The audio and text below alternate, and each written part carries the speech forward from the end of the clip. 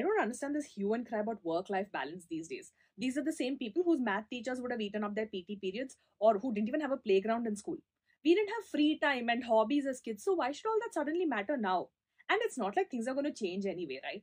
Not necessarily. A parent teacher association president and a managing committee member of a government school in Kerala filed a writ petition in court challenging a district panchayat decision to construct a water tank on the school grounds. The plan was eventually dropped. Acknowledging this, the Kerala High Court emphasized the significance of playgrounds in schools, such as improving children's physical, social, emotional, and cognitive skills. The court said that education cannot be restricted to classrooms. Referring to the Kerala education rules, the court said that every school must have an appropriate playground. The court noted that some authorities avoid maintaining playgrounds by exploiting the lack of specific guidelines in these rules.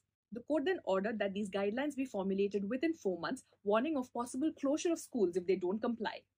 Parents, teachers, and school management demanding a playground for the kids. Amazing.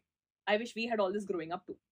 Share your favorite playground memories with us in the comments, but first, like and share this video and follow Factly for more such informative content.